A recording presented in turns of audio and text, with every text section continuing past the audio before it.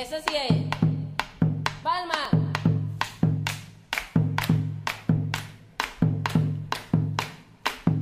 Yo me dedico al cultivo, por ejemplo, al campo. No sembramos nada, porque teníamos las tierras todas así y no, no teníamos una persona que nos capacitara a ver esta tierra está buena para esto y para estas otras cosas. Cuando ya empecemos a hacer los cursos y eso, ya entonces si no vino la idea y ahí principiamos a trabajar. Hasta el momento que estamos trabajando. Estuvimos haciendo unos cursos en el SENA de de hortalizas y eso, y eso es lo que tenemos. Bueno, el señor Gustavo Pérez tuvo un buen desempeño en el curso que tuvo con el SENA, pero él se escribió aquí en el kiosco Vive Digital.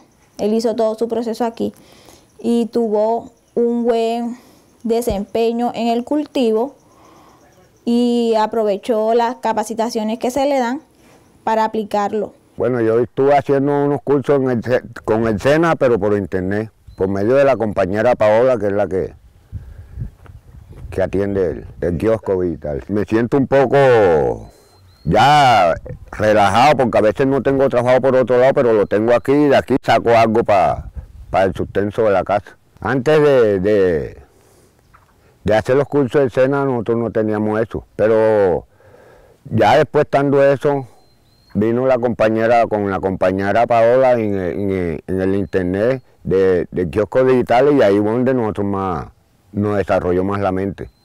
Ha sido de gran beneficio porque las personas han ido evolucionando tecnológicamente.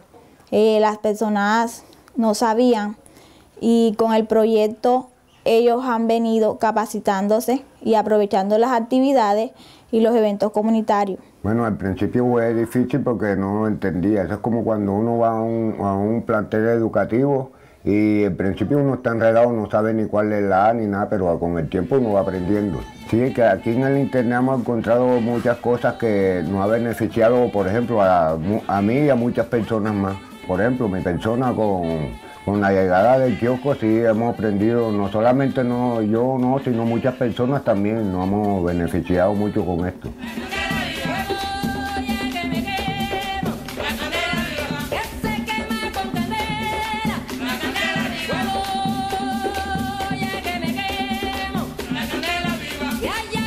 Queremos llevar Internet a más lugares. Tecnología en la vida de cada colombiano.